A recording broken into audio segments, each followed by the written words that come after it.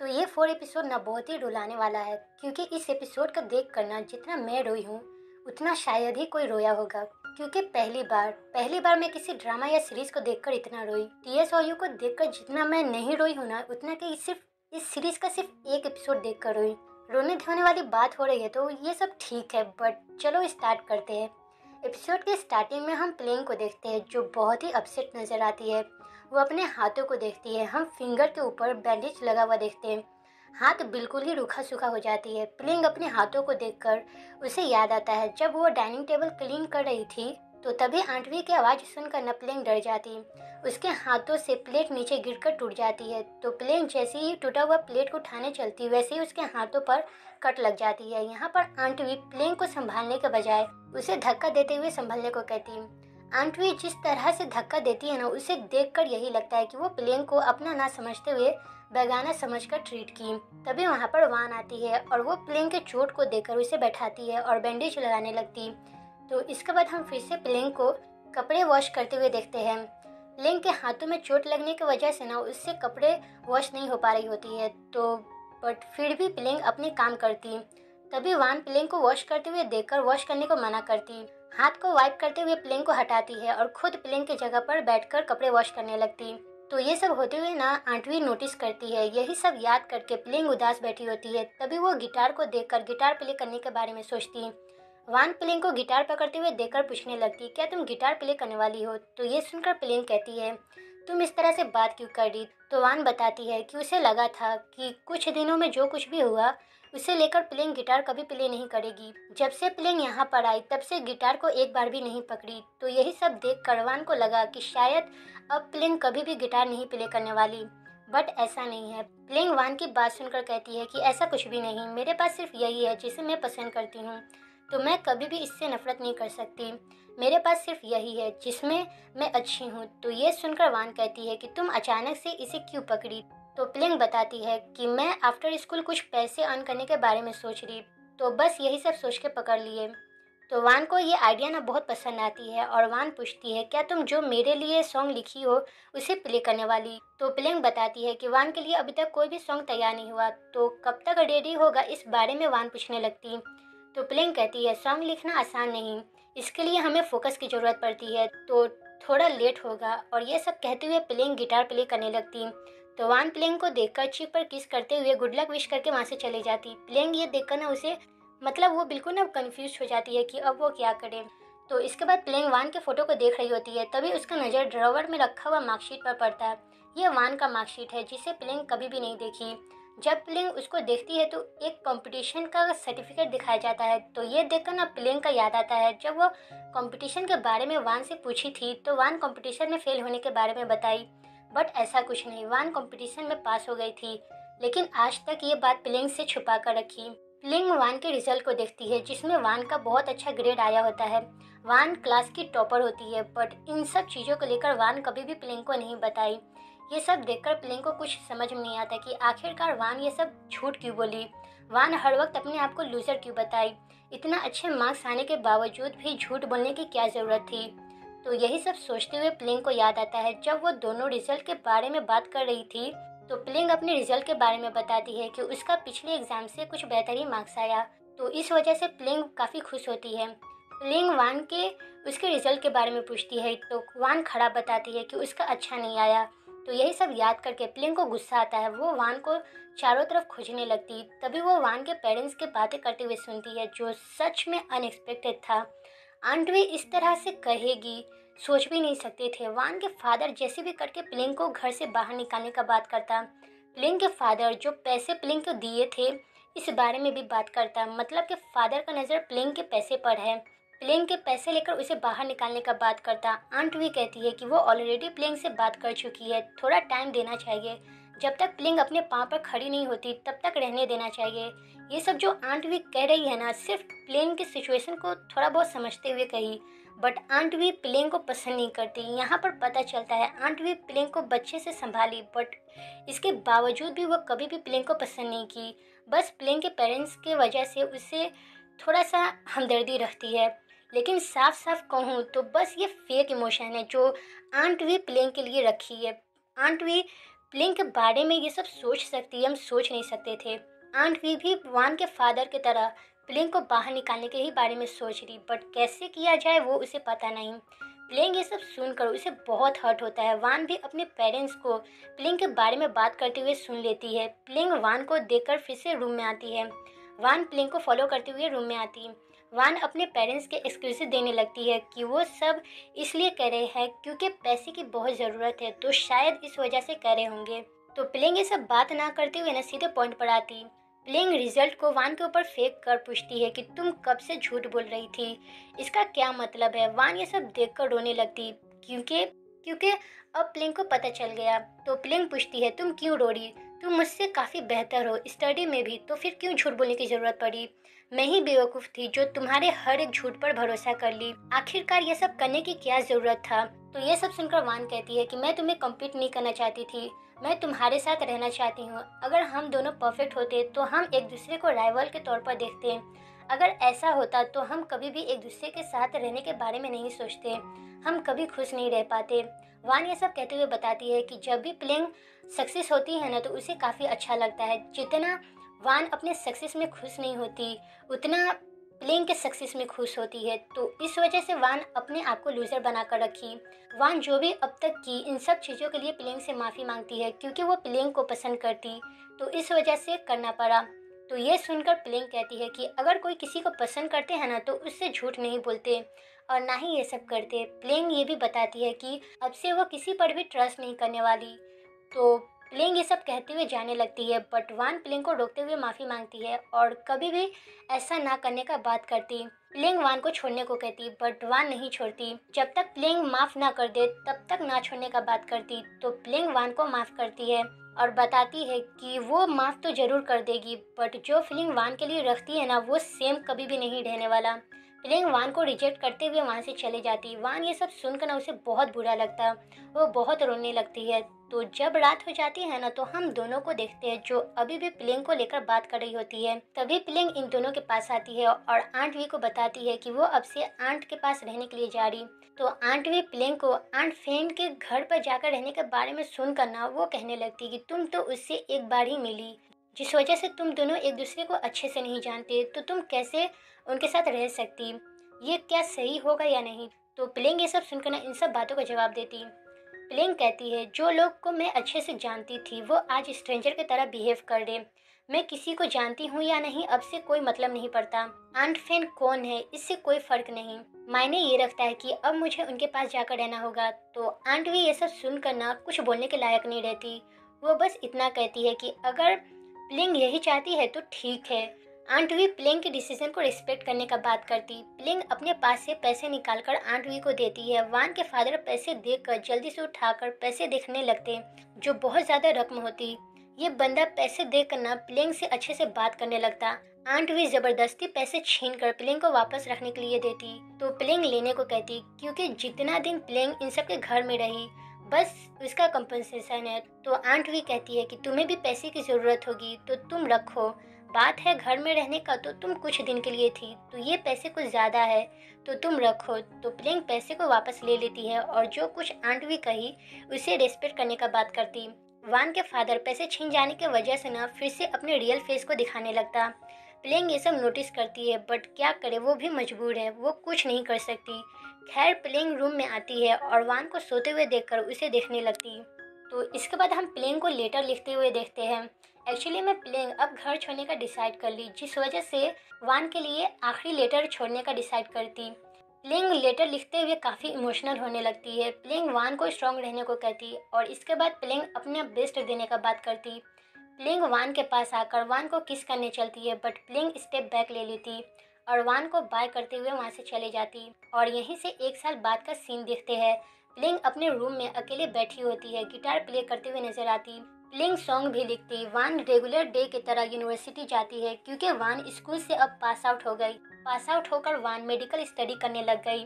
वहीं प्लिंग school complete नहीं की। स्कूल से ड्रॉप आउट होकर स्ट्रगल वाली लाइफ जी रही वान को हम मेडिकल ट्रेनिंग लेते हुए देखते हैं। वहीं प्लिंग बार में म्यूज़िक प्ले करती है। तो जब प्लिंग का काम खत्म हो जाता है तो वो घर जाने लगती। तभी प्लिंग रास्ते में खड़ा होकर स्टार्स को देखने लगती। और वहीं वान भी स्टार्स को देख रही होती है।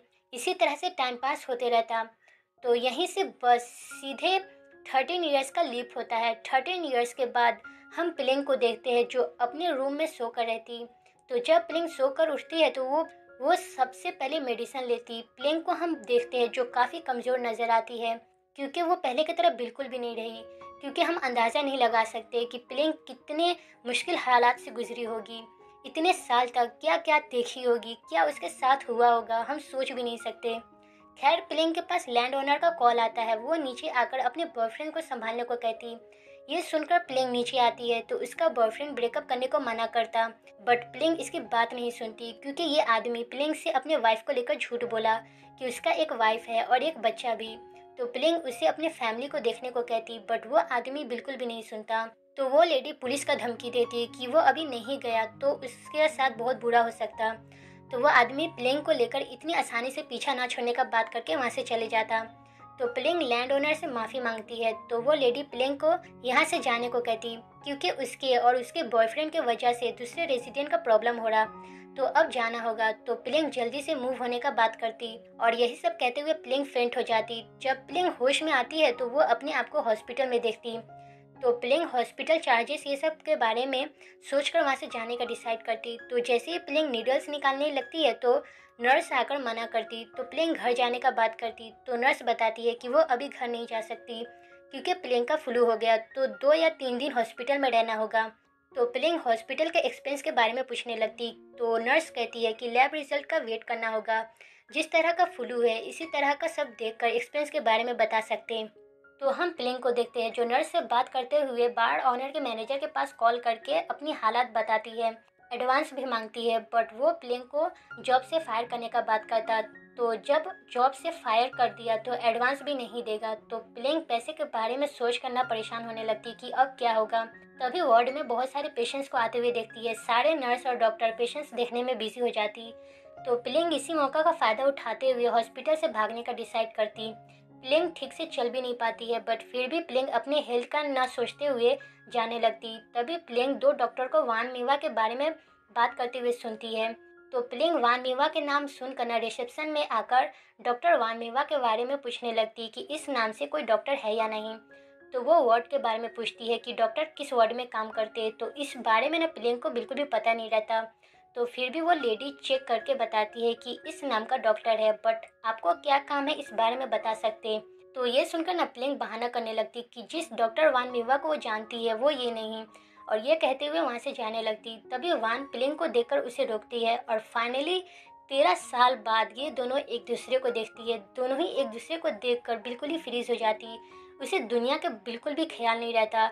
आसपास क्या हो रहा बिल्कुल भी खबर नहीं होती, बस एक दूसरे को देखने लगती वान प्लेंग को देखकर बिना कुछ सवाल किए, बिना कुछ बिना कुछ सोचे समझे प्लेंग से गले मिलती है, तभी प्लेंग फिर से फेंट हो जाती तो जब प्लेंग होश में आती है तो प्लेंग फिर से अपने आप को हॉस्पिटल रूम में पाती प्लेंग वान को बगल में देखकर कहती है, काफ़ी साल हो गए, तुम्हें देखना। मे भी टेन ईयर्स हो गए। तो वान बताती है कि टेन ईयर्स नहीं, बल्कि थर्टीन ईयर्स। तेरह साल हो गए तुम्हें जाना। तुमने जाने से पहले सिर्फ़ एक लेटर छोड़ी, जिसमें अपने आप को ख्याल रखने का बात की। तो फिर तुम इस तरह के हालात में कैसे आ गई? तो ये सुनकर प्लेंग पूछती है, क्या तुम मुझे ब्लेम कर रही? तो वान हाँ कहती, वान प्लेंग को ब्लेम करते हुए कहती है कि तुम अपने आप को ख्याल क्यों नहीं रखी? तुम बीमार कैसे हो गई? तो प्लेंग बताती है कि उसके पास कोई चांस नहीं था, जो हो रहा खुद ब खुद हो रहा। अगर चॉइसेस रहती तो बीमार कभी भी नहीं पड़ती। तो वान फालतू का एक्सक्यूज देने को मना करती और लैब रिज़ल्ट के बारे में बताती है कि प्लेन को न्यू स्ट्रेंस टाइप का फ्लू हो गया तो दो या तीन दिन ऑब्जर्वेशन में रखना पड़ेगा। तो ये सुनकर प्लेन कहने लगती, क्या सच में एडमिट होना पड़ेगा? क्या मैं मेडिसिन लेकर घर नहीं जा सकती? तो वान मना करने लगती कि उसे हॉस्पिटल में ही रहना पड़ेगा। रहना पसंद हो या ना हो, फिर भी रहना पड़ेगा। इस बार इस बार हॉस्पिटल से भागने का तो बिल्कुल भी सोचने को मना करती। और बड़े होने का बात करते हुए बचकानी हरकत करने को मना करती। तो ये सब कहते हुए नवान वहाँ से जाने लगती। तभी प्लिंग वान से कहती है कि तुम बिल्कुल चेंज हो गई। पहले की तरह बिल्कुल भी नहीं रही। तो ये सुनकर वान कहती है कि तेरह साल हो गए। मैं चेंज नहीं हूँ, बट हालात चेंज हो गए। इतने साल अलग रहने पर बस हमें स्ट्रेंज टाइप की फील हो रही। इसके अलावा और कुछ भी नहीं। तो प्लेन कहती है कि मैं जानती हूँ, लेकिन तुम्हारे पास से एक चीज़ मिसिंग होकर है, और ये और कुछ नहीं, तुम्हारा स्माइल तो वान बताती है कि कुछ साल पहले कोई मेरे लाइफ से बिना बोले चले गई, और हमेशा के लिए गायब होकर मेरे स्माइल को अपने साथ लेकर चली गई, और ये सब कहते हुए वान वहाँ से चली जाती। तभी प्लेंग के पास फिर से लैंड ओनर का कॉल आता। वो बताती है कि प्लेंग का बॉयफ्रेंड फिर से सबके साथ बदतमीजी कर रहा तो अगर अभी प्लिंग वहाँ पर नहीं आई तो उसे कुछ करना पड़ेगा। तो प्लिंग वान के लिए एक नोट छोड़कर माफ़ी मांगते हुए सीधे घर आती है, जहाँ पर अपने बॉयफ्रेंड को सबसे बदतमीजी करते हुए देखकर उसके पास आती और ये सब जो हरकत कर रहा, वो सब करने को मना करती। तो वो फिर से मेकअप करने का बात करता है कि आज के बाद वो कभी भी दूसरी औरत पर नज़र नहीं रखेगा, अपने बच्चे को अच्छे से रखेगा। वो प्लेन के हाथों को पकड़ते हुए माफ़ी मांगने लगता है प्लेन हाथ छोड़ने को कहती, बट वो नहीं छोड़ता। तभी वान वहाँ पर आती है प्लेन को प्रोटेक्ट करते हुए उसे धक्का देती। और दूर रहने को कहती तो वो कहने लगता, तुम कौन हो? हस्बैंड वाइफ के मामले में कैसे बीच में आ सकती?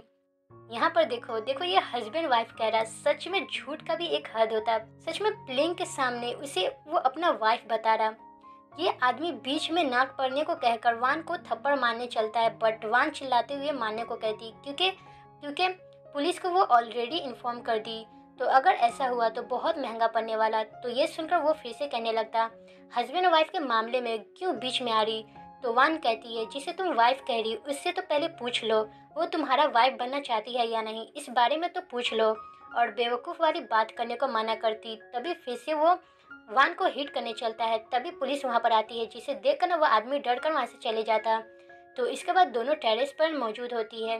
वान हॉस्पिटल से भागने का रीज़न पूछती मना करने के बावजूद भी प्लिंग बात क्यों नहीं सुनी? तो प्लिंग बताती है कि उसके पास हॉस्पिटल के चार्जेस पे करने के लिए पैसे नहीं। तो ये सुनकर ना वान खुद पे करने का बात करती। तो प्लिंग पूछती है कि तुम ये सब क्यों करना चाहती हो? हम दोनों का मिलना तेरह साल हो गए। तेरह साल में हम एक बार भी नहीं मिले। तो कोई भी अपनी फीलिंग को भुला सकता है। तुम मुझे भूल गई होगी। तो तुम फ्रेंड समझकर भी क्या करोगी? तो ये सुनकर नवान कहती है कि किसी का भुलाना आसान नहीं प्लेन की तरह नहीं कि उसके लिए सब आसान हो। प्लेन को जाना था तो वो चले गई और जब मिले तो प्लेन हर वक्त भागने के बारे में सोच रही।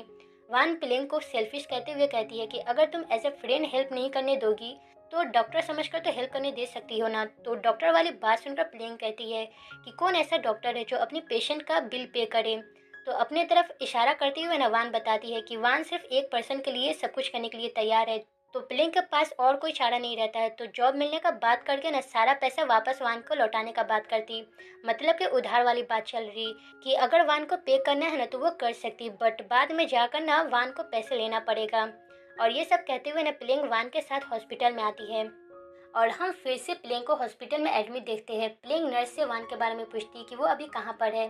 तो नर्स बताती है कि डॉक्टर वान घर पर कुछ सामान लेने के लिए गई।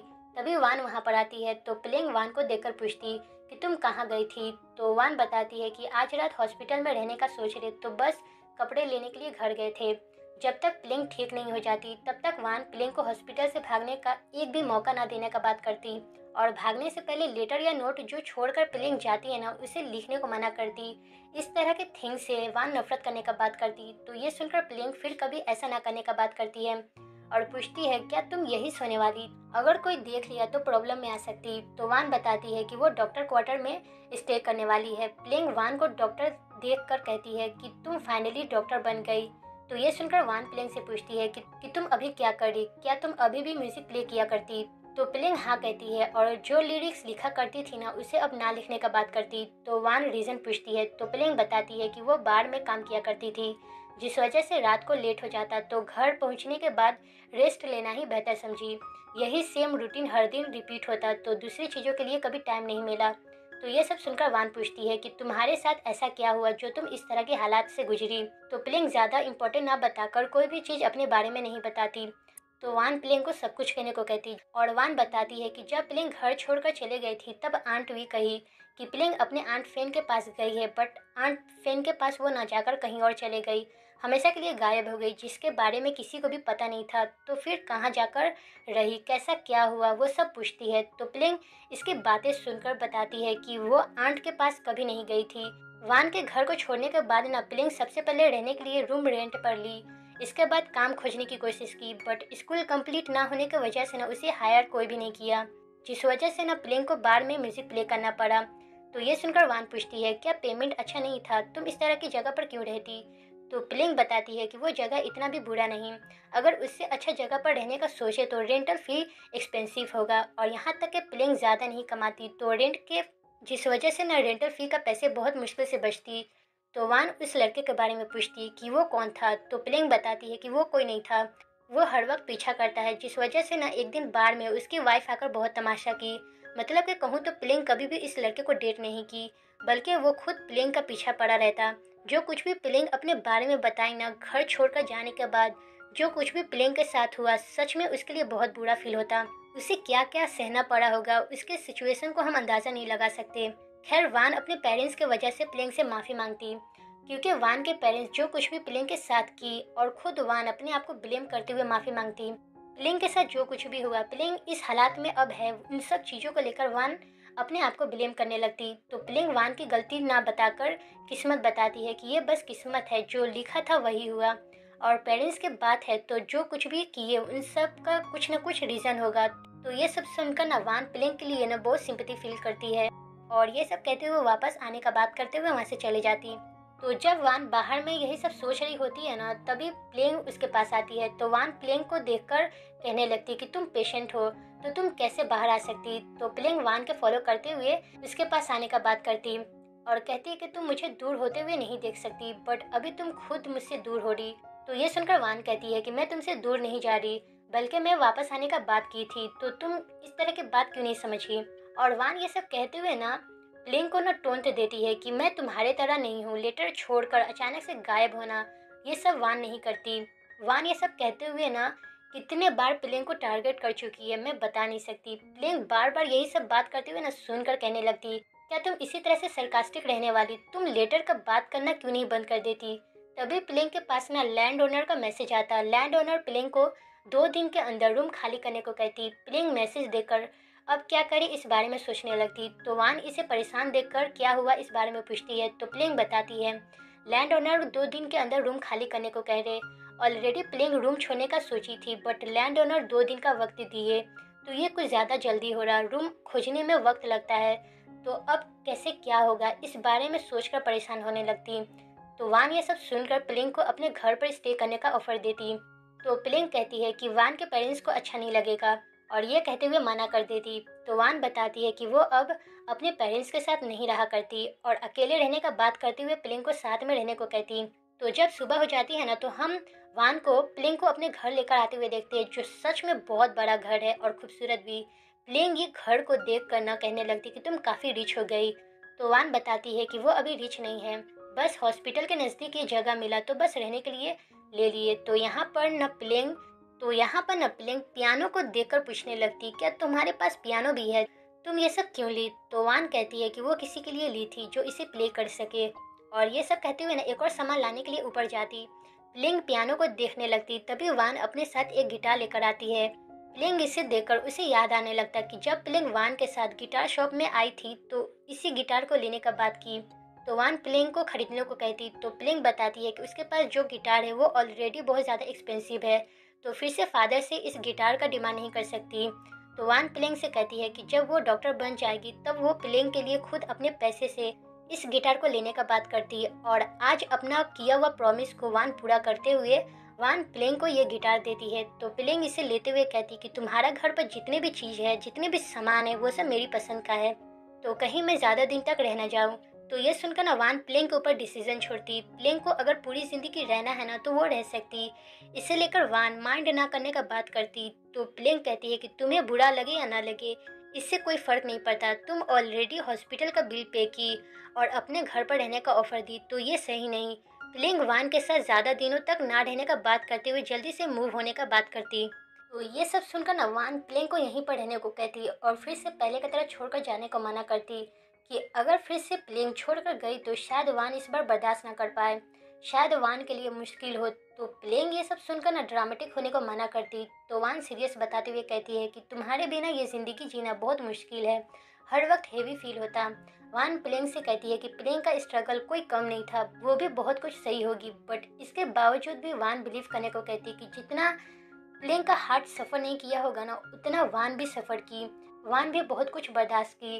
वान के लिए बहुत मुश्किल था अकेले रहना। प्लेंग वान की बातें सुनकर ना वान के साथ रहने के लिए तैयार हो जाती।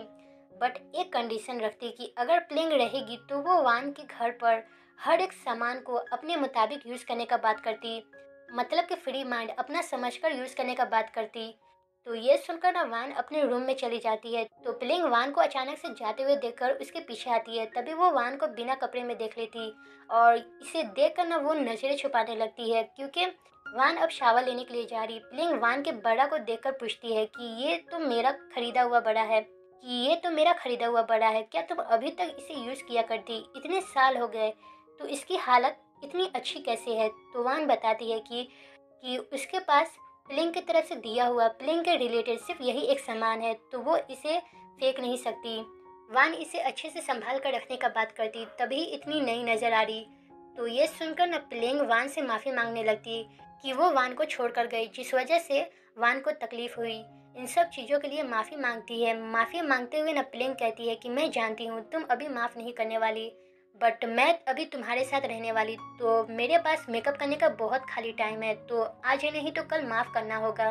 तो वान इसे कॉन्फिडेंट में देखकर कहती है कि, क्या तुम्हें सिर्फ़ माफ़ी चाहिए? तो प्लिंग हाँ कहती है और वान के लिए सब कुछ करने का बात करती।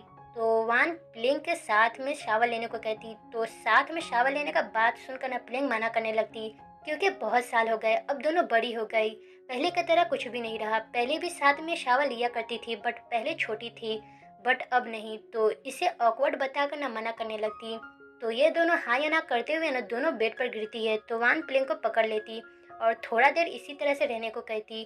तो प्लिंग रीज़न पूछती है तो वान कहती है कि मैं बस हक करना चाहती हूँ क्योंकि मैं तुम्हें बहुत मिस कर रही थी और ये सब कहते हुए दोनों साथ में ये वक्त गुजारती है। तो इसके बाद हम आधी रात को देखते हैं। अचानक से वान का नींद टूट जाता। वान टाइम को देखने लगती। प्लिंग वान को देखकर पूछती है कि क्या तुम ठीक हो ना? क्या तुम्हें नाइटमेयर आई? तो ये सुनकर वान बताती है कि यूजुअली उसका हर रात चार बजे खुद ब खुद नींद टूट जाता।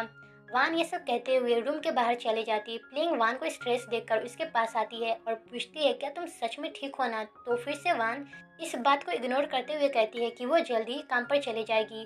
तो घर आने में भी लेट होगा तो प्लेइंग को जो करना है वो फ्री होकर कर सकती और ये सब कहते हुए फिर से रूम के अंदर चली जाती है। तो नेक्स्ट डे हम दोनों को देखते हैं। वान काम पर जाने के लिए रेडी होकर ब्रेकफास्ट करने लगती। लिंग वान को जल्दी जल्दी खाते हुए देखकर शांति से खाने को कहती और माउथ को और माउथ के ऊपर लगा हुआ देखकर न क्लीन करने लगती। तो वान प्लेन के फिंगर पर लगा हुआ ना देखकर मतलब कि वान फिंगर पर लगा हुआ खाना को देखकर ना उसे मतलब मतलब जो भी हो, खुद जाकर देख लो, मैं समझा नहीं पा रही। प्लेइंग ये सब देखकर पूछने लगती, ये तुम क्या करी तो वान बताती है कि वो वेस्ट नहीं करना चाहती। तो बस ये कर लिए। तो हम वान को ना अच्छे से जानते हैं। ये तो बस बहाना है। वान तो अभी फ़ायदा उठाई। वान ब्रेकफास्ट करते हुए ना काम पर जाने का तैयारी करने लगती। प्लेइंग वान को आर्म बैंड पहनते हुए ना देखकर पूछने लगती कि तुम ये क्यों पहन रही? तो वान बताती है कि वो बाइक से काम पर जाया करती। तो बस यूवी रे से बचने के लिए पहन रहे। तो बाइक चलाने वाली बात सुनकर ना प्लेन काफ़ी एक्साइटेड हो जाती। वान प्लेन के पास आकर कहती है कि जिस तरह से मेग रायन बाइक राइड करते हुए काम पर जाया करती थी, उसी तरह से वो भी काम पर जाया करती। और काम से वापस आते हुए प्लेन से रिवॉर्ड लेने का बात करती। तो रिवॉर्ड वाली बात सुनकर ना प्लेन कहने लगती कि मेरे पास तुम्हें देने के लिए कुछ भी नहीं। तो बस तुम घर पर आना और साथ में डिनर करना, बस यही काफ़ी है। तो वान इस बात पर भी अग्री हो जाती कि कोई बात नहीं, सब ठीक है, ये भी सही। साथ में डिनर कर लेंगे तो ये भी काफ़ी है बट वान को हम जानते हैं, वो इतनी आसानी से सब कुछ छोड़ने वाली नहीं। वान डिनर के लिए तैयार तो हो जाती है बट खाने के जगह पर कुछ और ईट करने का बात करती है, जिसे सुनकर न प्लेइंग ब्लश करने लगती है बट प्लेइंग वान के पीछे हटाते हुए बकवास ना करके काम पर जाने को कहती तो वान ना चाहते हुए ना वहाँ से चली जाती। तो इसके बाद जब प्लिंग अकेले बैठकर गिटार प्ले कर रही होती है ना तो वो बाहर का नज़ारा देखकर बाहर जाने का सोचती तो जब प्लिंग बाहर जा रही होती है तो तभी रास्ते में उसे एक मिलता।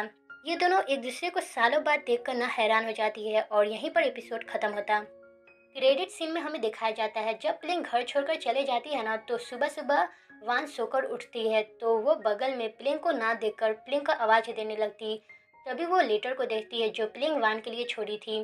प्लिंग कहती है कि अभी चार बज रहे, मेरा फ़र्स्ट टाइम है, जो मैं तुम्हारे लिए इतना जल्दी उठकर लेटर लिख रही, मुझे माफ़ कर देना, मैं जा रही हूँ। जो कुछ भी मैं करने जा रही हूँ, वो सब अच्छे के लिए है, तुम्हारे पेरेंट्स फ्री हो जाएँगे, तुम अपनी लाइफ अपने हिसाब से जी सकती, मैं जानती हूँ, तुम मुझे पसंद करती हो बट तुम अपने आप को कभी भूलना नहीं। प्लिंग ये भी कहती है कि अगर तुम्हारे टैलेंटेड होने के बारे में मुझे पता रहता ना तो दोनों साथ में सेलिब्रेट किया करते, हमेशा खुश रहते, मुझे कोई फ़र्क नहीं पड़ता, दूसरे क्या सोचते हैं, क्या समझते दोनों को राइवल देखा जाए या नहीं, इससे कोई मतलब नहीं। दोनों साथ है, प्लेन के पास वान है, बस यही काफ़ी। आज इसे सब लोग की तरह, तुम्हारे लिए ये सब दिन नॉर्मल होगा। तुम हमेशा की तरह स्कूल जाया करोगी बट मैं अपने रास्ते प्लेइंग वान से दूर जाने के बारे में सोच कर डरने का बात करती बट फिर भी अपने आप को अच्छे से ख्याल रखने का बात करती। और ये सब कहते हुए वान को परेशान होने को मना करती। लिंग जो बात कल गुस्से में वान से कही थी, उसे लेकर बताती है कि वो कभी भी वान से नफरत नहीं कर सकती और ना ही कभी वान के लिए फीलिंग चेंज हो सकता और जो बात वान के फेस पर कही, उस पर बिलीव करने को मना करती। लिंग फोरेवर वान को पसंद करने का बात करती और ये सब कहते हुए अपना सामान लेकर घर से निकलती है। वान ये सब देखकर लेटर को रीड करते हुए बहुत रोने लगती। वो घर से बाहर आकर चारों तरफ़ प्लेन को खोजने लगती। खोजते खोजते मेन रोड में आती है। हम वान को देखते जो पागलों की तरह ना प्लेंग को चारों तरफ़ खोजती प्लेंग के साथ ना रहने की वजह से बहुत रोने लगती इसी वजह से वान आज तक चार बजे का ट्रॉमा बर्दाश्त कर ली हमेशा वान को चार बजे जागते हुए देखते इसका और कोई वजह नहीं, सिर्फ़ प्लेंग है। प्लेंग इस वक्त वान को छोड़कर गई थी, जिस वजह से वान अभी तक सफ़र कर रही वान गिल्ट में है कि अगर वो उस रात चार बजे जाग जाती तो वो प्लेंग को जाने को मना कर सकती थी। बट सैडली वान का नींद नहीं टूटा, जिस वजह से प्लेंग घर छोड़कर चले गई। यही डर की वजह से आज तक वान ये सब बर्दाश्त कर रही। और आज तक सेम टाइम पर उसे एहसास होने लगता कि अब प्लेंग को घर छोड़ने का वक्त आ गया। यही डर हर वक्त सताया करता। पता नहीं जब प्लेन को ये सब पता चलेगा तो वो क्या करेगी। उसकी एक गलती किसी की लाइफ का ट्रॉमा बन गया। दोनों के हालात अपने अपने रास्ते बहुत हॉरिबल है। हम सोच नहीं सकते कि दोनों क्या क्या बर्दाश्त की होगी। एक के पास सब कुछ होने के बाद भी स्ट्रगल करी तो दूसरे के पास सब कुछ ना होने के बाद भी स्ट्रगल कर। दी यही ज़िंदगी है। सबके पास सब कुछ रहे या ना रहे, हर कोई स्ट्रगल करता। अपने अपने रास्ते में सबकी लाइफ हार्ड है। किसी की भी लाइफ आसान नहीं, बस इंसानी सोच का फ़र्क है, जो जज करने के अलावा और कुछ नहीं करता। खैर, अगर एपिसोड अच्छी लगी हो तो लाइक और कमेंट करके ज़रूर बताएँ कि आपको ये एपिसोड कैसी लगी और चैनल पर नए हो तो सब्सक्राइब भी ज़रूर कर दें और बेल आइकन को ज़रूर प्रेस करें जिससे आपको मेरी हर एक अपडेट पता चलती रहे। तो मिलते हैं नेक्स्ट एपिसोड में। जब तक के लिए थैंक यू फॉर वॉचिंग